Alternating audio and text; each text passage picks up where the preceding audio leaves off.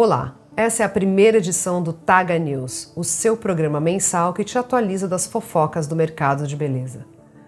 Eu sou a Vanessa Rosan e hoje a gente começa com uma notícia que vai paralisar o Brasil. O glitter se tornou inelegível a partir de 2027 na União Europeia. Sim, na União Europeia, né? Mas a gente sabe que tudo que acontece lá, uma hora chega aqui. Brasileiros já estão dormindo nas portas das escolas de samba para reivindicar essa ideia antes mesmo que ela chegue até aqui. Ao que parece, esse movimento não possui nenhum podcast que defenda o extremo brilho para apoiá-los nessa missão. Para quem não sabe, o glitter é feito de microplástico, ou seja, plástico em pequeno tamanho que torna impossível que ele seja reciclado. Essa decisão provocou uma onda de pânico na Alemanha, onde inúmeras pessoas correram até lojas para estocar purpurina. Agora a gente já sabe porque o Zuckerberg gastou 500 milhões de dólares num bunker no Havaí. O cara tá estocando glitter há muito mais tempo do que a gente, preparadíssimo. E a L'Oréal financia pesquisa sobre envelhecimento da pele com a UC San Diego. O estudo pode ser o primeiro a isolar micróbios associados ao envelhecimento e saúde da pele, ao invés da idade cronológica. Não é a primeira vez que um grupo de micróbios se reúne para decidir sobre o envelhecimento da sua pele. Tem sempre aqueles heterotops do BBB para fazer isso por você.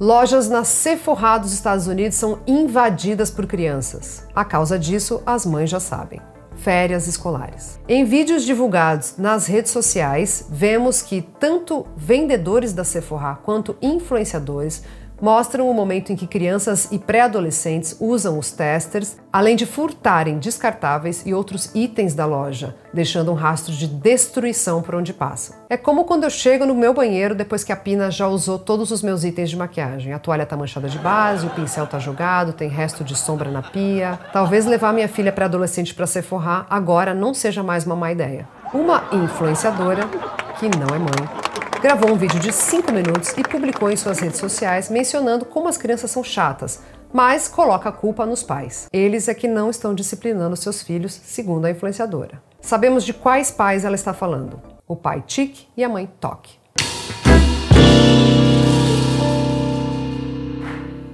E agora com vocês, Encosto de Márcia.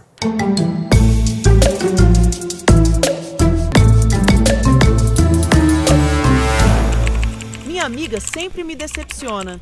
Devo parar de falar com ela? Será que você é assim tão rainha da cocada para se magoar tanto? Vai pro instinto dos infernos também. Hein, Tem gente que eu vou te falar, meu. Ai, se magoar com tudo. Vai se magoar no raio que o parta.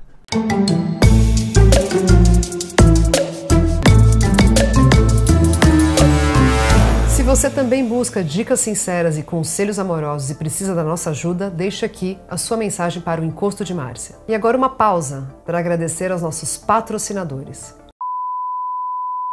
E com isso encerramos a primeira edição do Taga News. Boa noite.